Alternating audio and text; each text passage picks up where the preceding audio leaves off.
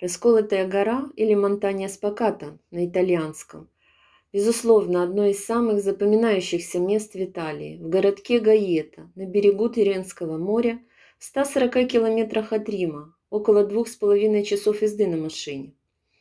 Это место посещает каждый год огромное количество туристов.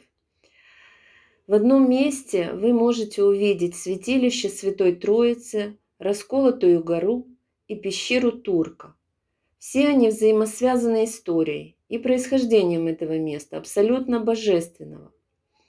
Святилище или храм Святой Троицы, который вы видите перед собой, был построен в XI веке известно э, на протяжении всей истории, потому что здесь молились многочисленные послы, в том числе Пий IX, а также государи, епископы и святые, очень знаменитые Виталии, это Игнацио ди Лойола и Сан Филиппо Нери.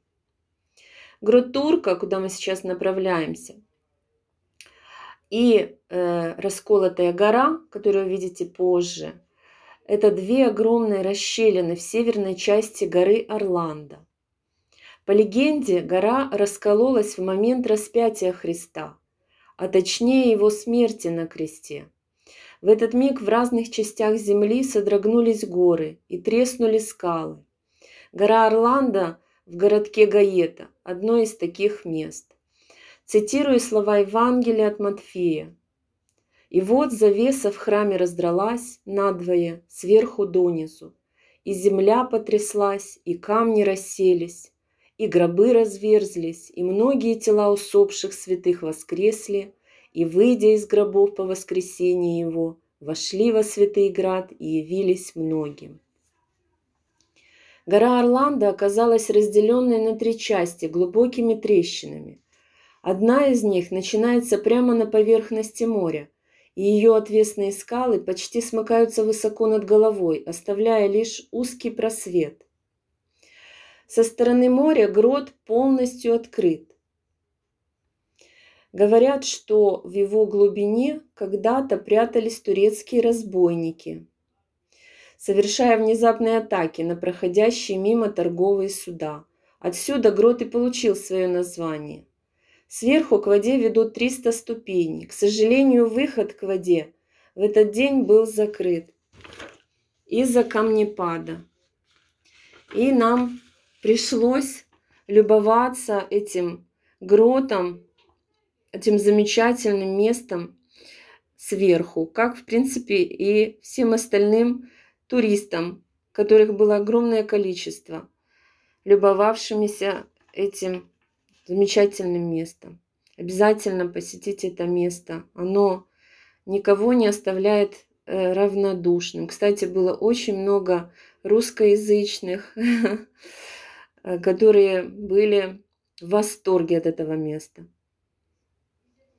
Справа от храма Святой Троицы, проходя старинную арку, направляемся к следующей достопримечательности этого места – Расколотой горе. Вы видите направление – Э, вход абсолютно бесплатный. Э, работает с 9 до 17.45 каждый день, кроме понедельника. Вот вы видите расписание. Вдоль э, стен расщепленной скалы есть несколько майоликовых панелей с остановками крестного пути Господа нашего Иисуса Христа, которые датируются 1849 годом. Вы знаете, что остановок э, было 14 у Иисуса Христа. И я вам напомню, какие они были. То есть первое, Господа Иисуса Христа осуждают на смерть. Вторая, Иисус берет крест на свои плечи. Третье, Иисус падает в первый раз. Четвертое, Иисус встречает свою мать по пути на Голгофу. Пятое, Симон Кириньянин помогает Христу нести крест. Шестая. Святая Вероника отирает лицо Господу Иисусу Христу. Седьмая. Иисус падает второй раз. Восьмая. Иисус Христос утешает плачущих женщин. Девятое. Иисус падает третий раз. Десятое. Иисуса Христа обнажают. Одиннадцатое. Иисуса Христа прибивают ко кресту. 12. Иисус умирает на кресте. 13 Иисуса снимают с креста и 14 погребение Иисуса Христа.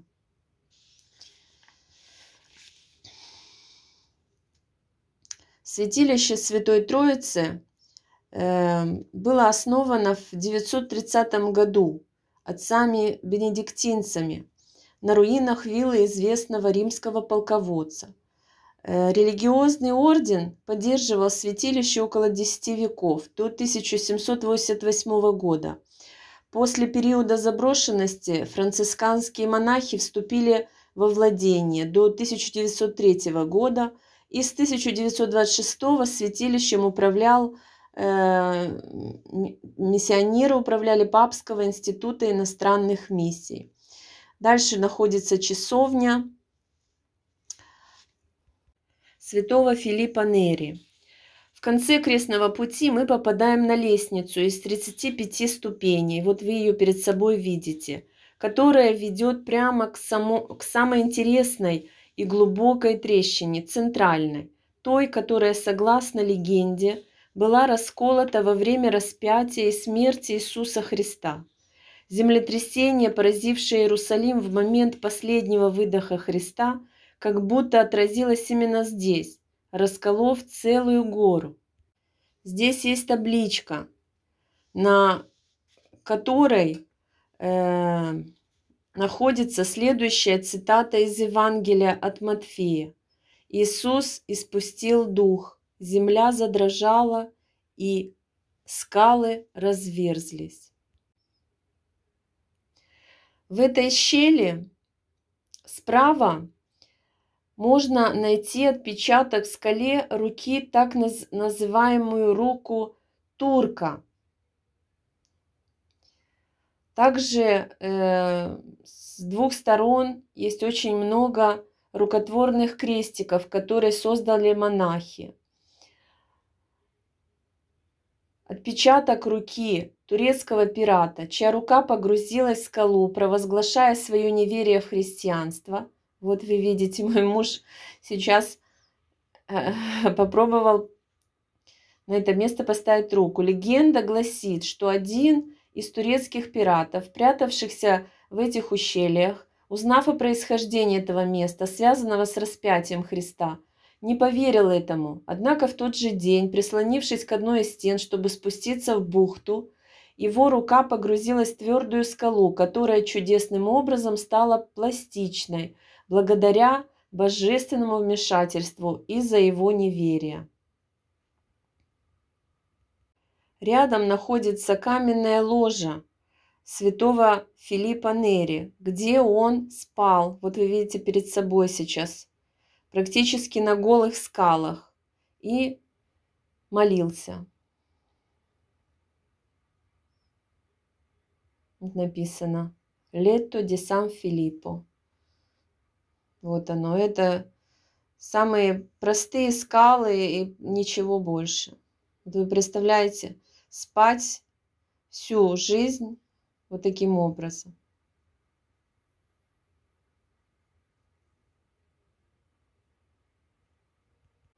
В 1434 году землетрясение вызвало падение валуна, и он застрял в одном из скалистых ущелий горы, на которой была воздвигнута часовня, откуда открывается захватывающий дух. Мы еще подыбимся и вы увидите ее.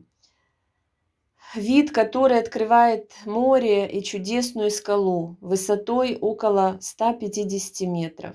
К сожалению, часовня была закрыта из-за реставрации, поэтому мы внутрь попасть не смогли.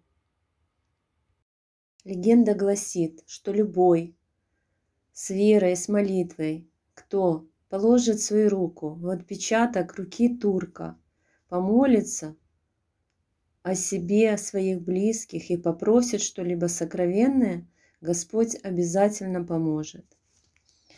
Под отпечатком руки турка также есть латинское двустишие, которое гласит «Неверующий отказывался верить в то, что рассказывает предание. Это доказывает эта размягшая скала». С левой стороны на шикарную террасу с красивым видом ведет лестница, которую вы видите сейчас в расщелину, ту самую расщелину, которая произошла во время э, землетрясения при распятии Иисуса Христа и которая прошла практически через всю гору. Это место уникально. Место паломничества и притяжения туристов. Очень красивое, очень необычное место. Расколотая гора в Гаете ежегодно привлекает тысячи посетителей. Легендарная пещера, святилище с видом на море и рука, высеченная в скале, делают этот уголок городка Гаэта абсолютно волшебным местом.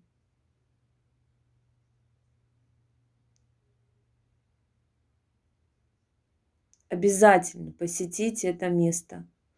Оно вас приятно удивит.